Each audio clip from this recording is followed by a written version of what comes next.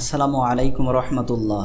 সম্মানিত দিনী ভাই ও বোনেরা, আজ আমি আপনাদের সামনে উপস্থাপন করব তায়াম্মম কাকে বলে তায়ামমের ফরজ কতটি এবং কোন ব্যক্তি তায়ামম করতে পারবে এ প্রসঙ্গে।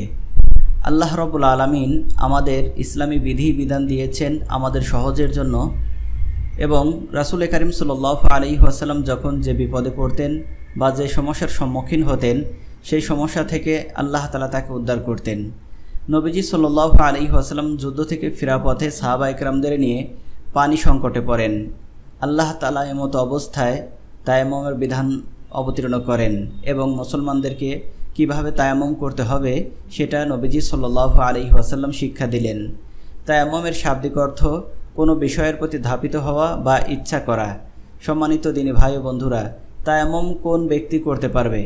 তায়াম্মুম ওই ব্যক্তি করতে পারবে যদি কোনো ব্যক্তি এমন স্থানে থাকে যেই জায়গার আশেপাশে এক মাইল দূরত্বের মধ্যে কোনো পানি না থাকে অথবা এমন দূরে পানি থাকতে পারে যেখানে সে পানি সংগ্রহ করতে গেলে নামাজ কাজা হয়ে যাওয়ার সম্ভাবনা থাকে, এতটুক দূরত্বে যদি পানি থাকে তাহলে সে ব্যক্তি তায়াম্মম করতে পারবে। দ্বিতীয় নম্বর, কোনো ব্যক্তি এমন অসুস্থ যে পানি ব্যবহার করলে তার রোগ বেড়ে যাওয়ার সম্ভাবনা থাকে।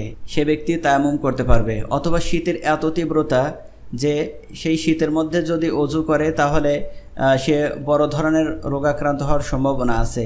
এমতো অবস্থায় তায়ামুম করতে পারবে। অথবা তায়ামুম করতে পারবে ওই ব্যক্তি যে যে ব্যক্তি এমন স্থানে আছে যেখান থেকে বের হলে অর্থাৎ বাসার বাইরে গেলে বাঘ বা হিংস্র প্রাণী তাকে আক্রমণ করার সম্ভাবনা আছে, অথবা শত্রুর ভয় থাকে যে সেখানে গেলে শত্রুর আক্রমণ হতে পারে।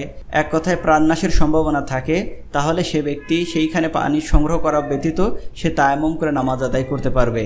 এবার আসুন, তায়াম্মমের ফরজ কতটি? তায়াম্মমের ফরজ মূলত তিনটি। এক নম্বর, নিয়ত করা, অর্থাৎ পবিত্রতা অর্জন করার, নিয়ত করা। দুই নম্বর সমস্ত মুখ মাসেহ করা। তিন নম্বর, দুনো হাতের কোনোই পর্যন্ত সুন্দরভাবে মাসেহ করা। তায়াম্মমের ফরজ মূলত এই তিনটি। তায়াম্মম করার পদ্ধতি, তায়াম্মম করতে হয় মূলত মাটি অথবা তার সামঞ্জস্যশীলপূর্ণ কোনো বস্তু দ্বারা। অর্থাৎ সর্বপ্রথম মাটিতে হাত মেরে তারপর তিনটি এভাবে ঝাঁকুনে দিয়ে যাতে হাতের ধুলাগুলো পড়ে যায়। তারপর সুন্দর করে মুখটা মাসেহ করা। এভাবে মাসেহ করতে হবে। তারপর আবার মাটিতে হাত মেরে আবার তিন তিনবার ঝাঁকি দিয়ে, অর্থাৎ ঝাঁকি দিলে ধুলাটা হালকা হয়ে যাবে। তারপর হাত সুন্দরভাবে এই পদ্ধতিতে মাসেহ করা। প্রথমে ডান হাত, তারপর বাম হাত। প্রথমে নিয়ত করা, তারপর সমস্ত মুখ সুন্দরভাবে মাসে করা তারপর দোনো হাতের কোনোই পর্যন্ত সুন্দরভাবে মাসে করা এটা হলো তায়ামমের ফরজ।